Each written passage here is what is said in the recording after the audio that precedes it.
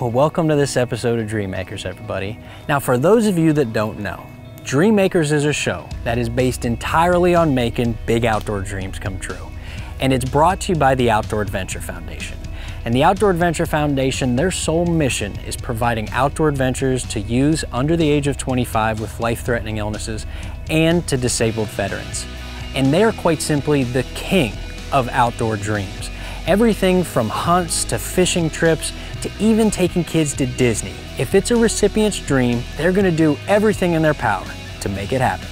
Well, it's September 22nd, the Outdoor Adventure Foundation. We're out here with uh, 18 recipients.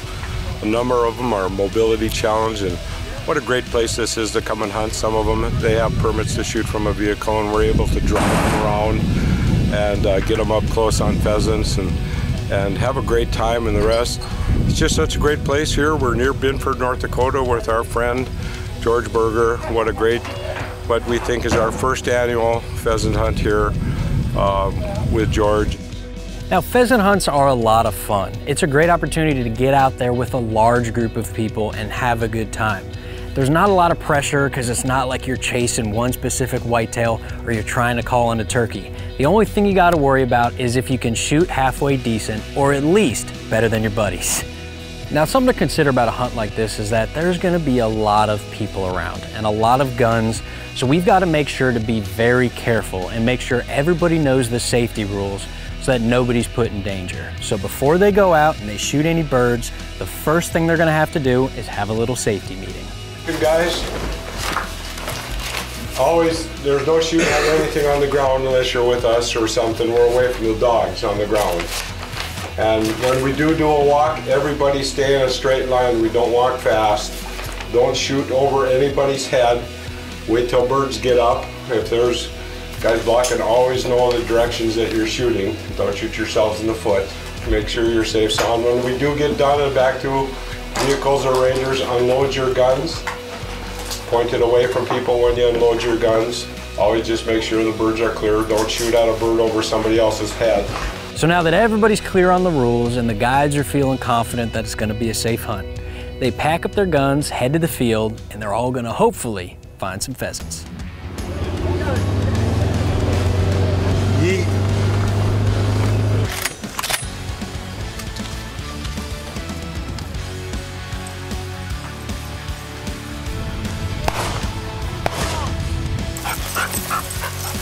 Sniper over here?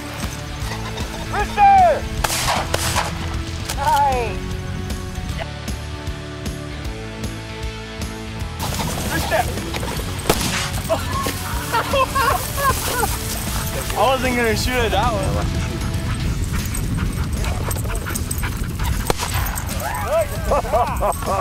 oh, nice. Crap. Nice. Oh. Hold up, hold up. I got him. Wow. You did a good job.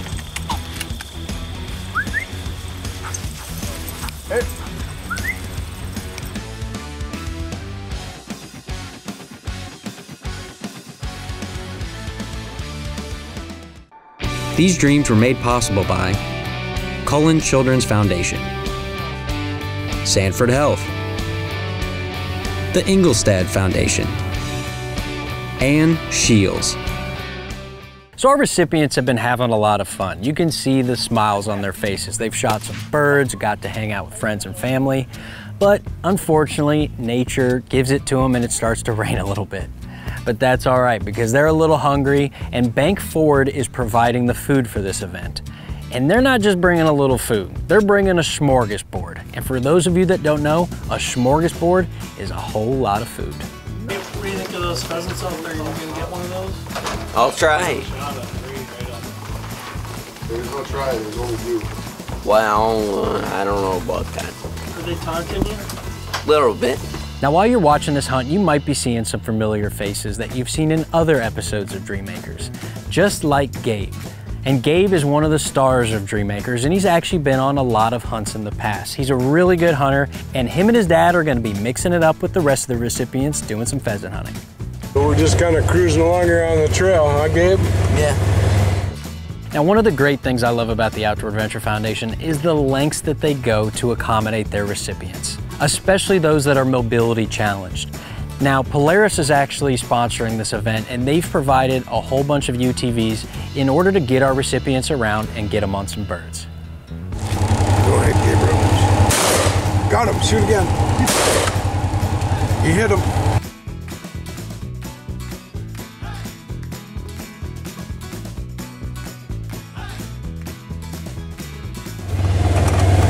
Hey, doing pretty good. We got eight already, huh? Yeah. That's pretty cool.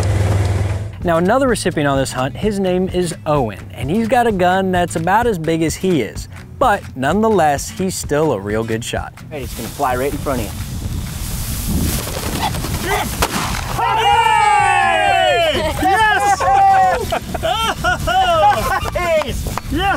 There we go! I didn't have time. All right! Yes! Didn't have time to get ready. What? We smoked him! Very much love but you got him. All right! Good job. Yes, buddy! You nailed him! So once again, uh, Outdoor Adventure hooked Gabriel up with this amazing trip. Just two weeks ago, they took him antelope hunting, and now today he gets to do all this pheasant hunting, and it's uh, it's so great for him to have these things to look forward to. You know, he, it, it makes him work harder in all of his therapies and recoveries to, to know that he can come out here and do these these events, and, and then just to be with people that have issues that aren't uh, all the same, and it's it's a good thing for him to have that and know that he's not alone. makes me uh, it makes me happy to know that it, it makes him happy, and we can't uh, we can't thank Outdoor Adventure Foundation enough for all these adventures he gets to go on. We went out pheasant hunting today and there was 18 of us, I believe, and we got 91 birds, I believe. So very good day of hunting and it was very fun. When I was in the hospital, all I would tell them is, or ask them is if I can go hunting in the weekend, they'd always tell me no. So now that I'm out, I gotta try to make up for all the lost time. One of the things that Outdoor Adventures has done is allowed uh, kids and their parents or their grandparents to come together and, and do it in a group that, uh, that uh, you know, there's not a lot of stress with it. Kids get to hunt to their capabilities and uh, it's a proud moment for a dad to watch, you know, watch his son who's kind of gone through a lot and, and overcome that to be able to do something like that. Well, we, uh, we get to go out and do some nature hikes and carry a gun while we're doing it and then get a couple shots off at birds and if you hit them, awesome. If not, you're still, you're still up and winning. Now, if you're watching this episode and you're interested in becoming a volunteer, or if you think that you or a loved one may qualify as a recipient, all you've got to do is head over to our website. We would love to have you either way. Now, you're want to stick around because when we get back, we're heading all the way up to Canada and we're to be doing a little bit of black bear hunting. Stick with us. Dreammakers will be right back. These dreams were made possible by Cullen Children's Foundation, Sanford Health, the Engelstad Foundation, and Shields. If you've got a question, we've got an answer. This is Dreammakers Q&A. All right, this one comes to us from Bob from Michigan. Bob says, I want to go on a hunt, exclamation point, exclamation point, and then a bunch of deers behind it. Bob, that's a good one, all right? And I'm sure there's plenty of people that want to go on a hunt like this because our recipients get to go on some great hunts. But the fact of the matter is, Bob, it all depends on whether you qualify or not. And if you're out there and you want to find out if you or a loved one qualifies, all you've got to do is go over to our website, outdooradventurefoundation.org, and you'll find all the details you need there. That's a good question, Bob. Funny, but still good. And if you're out there and you've got a question for us, all you've got to do is head over to our Facebook page and ask away. We'll see you next time on Q&A. Would you be quiet? I'm trying to do a Q&A. God dang.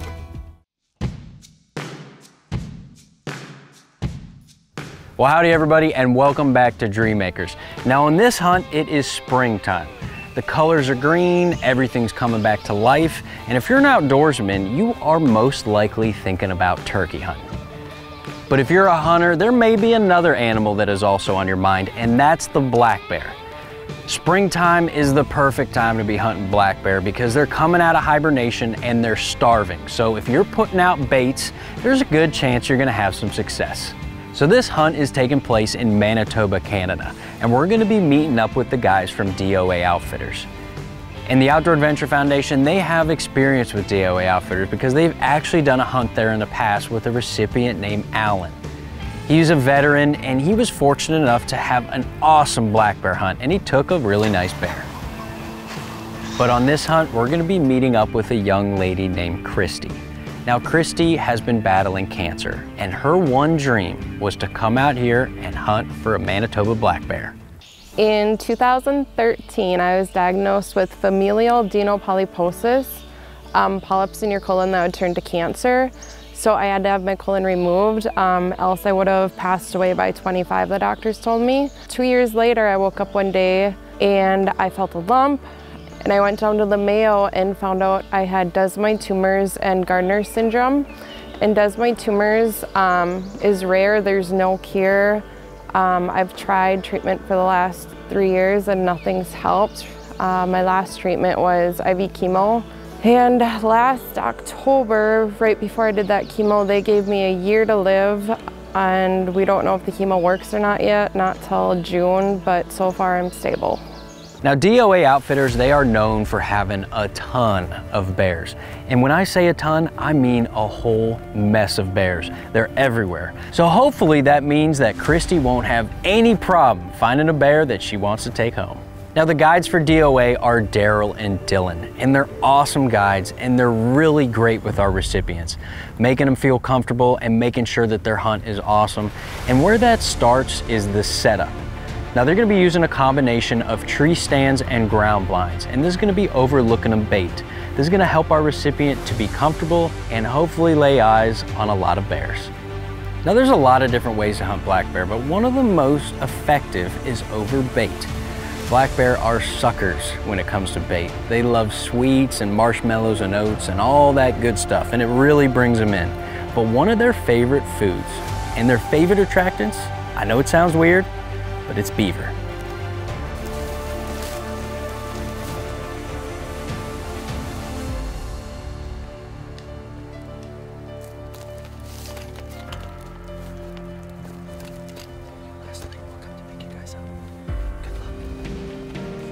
So for Kristy's first sit, they're gonna be sitting on the ground, which in any other hunt would not be a big deal. But the fact of the matter is, is that they're hunting for bear.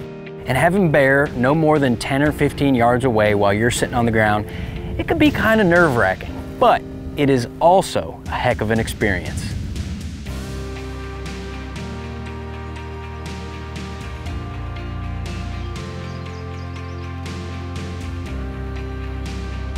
All of a sudden, a little cub works his way in. And you can tell that this is a cub, first of all, because he's smaller, and second of all, because he's so curious. You know, he's checking out the bait, he's checking out the area.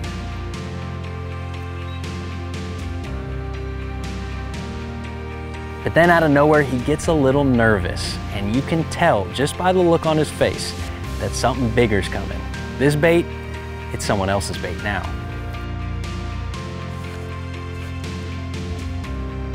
So a boar makes his way in, and you know, this is kind of a smaller bear. It's not one that you'd really want to take on the first day, especially when you're seeing so many bear and especially when it's so pretty outside. But this guy puts on a show and entertains the hunters nonetheless.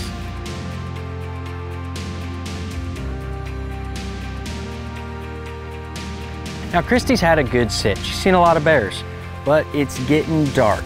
And before that sun goes away, old mama bear shows up with her and her two cubs.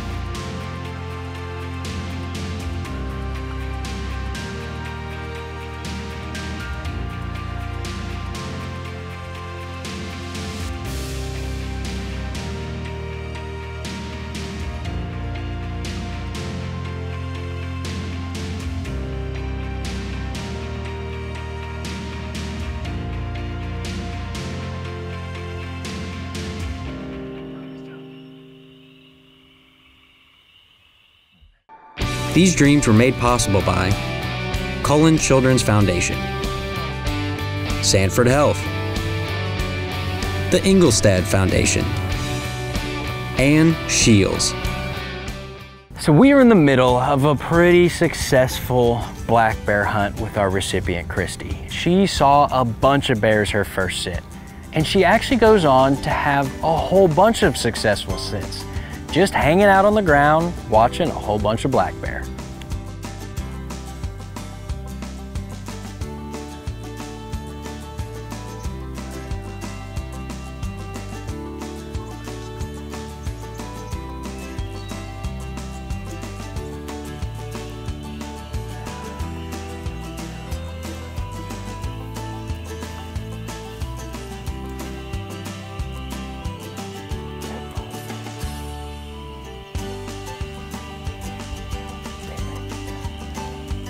And it was really cool to see um, them fighting. It was just very different from anything I've ever experienced.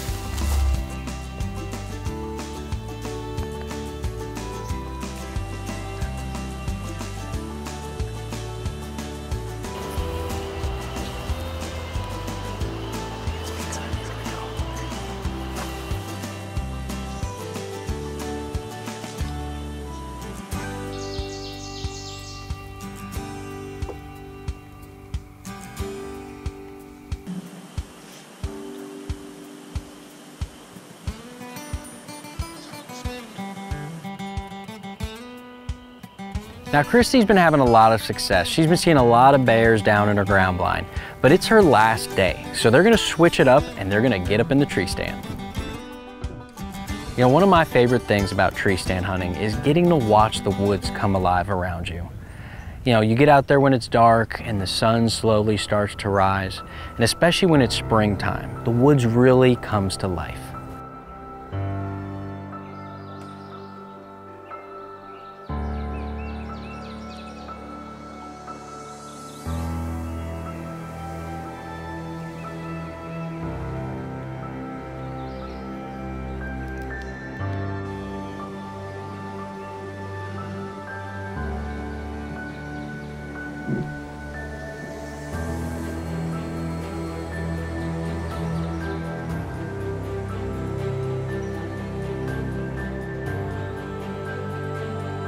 So Kristy's got two bears in front of her and they are munching on that bait without a care in the world. They have no idea she's there. So she's gonna have plenty of time to figure out if she wants to pull the trigger. You know, it's funny, it's, it's almost like an animal knows when you're ready to take a shot. They can be perfectly broadside the whole time, but as soon as you get ready to pull the trigger, it's like they start hiding from you and making it difficult on you.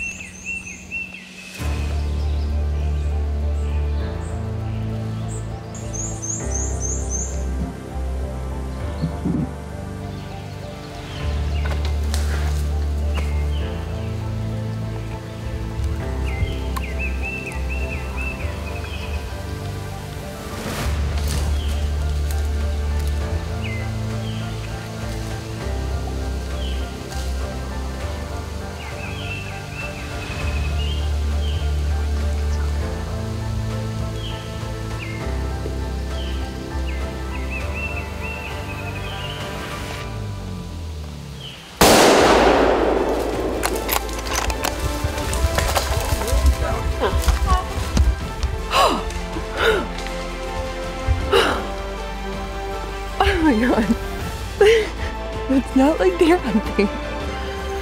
Oh my god. Oh.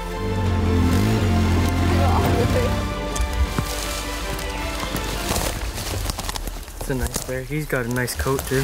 Yeah, well, he's gonna be my rug. Oh, oh no. Oh, you're so heavy. Oh. There's a real sense of accomplishment that comes with a hunt. And that doesn't even necessarily mean that you've got an animal on the ground.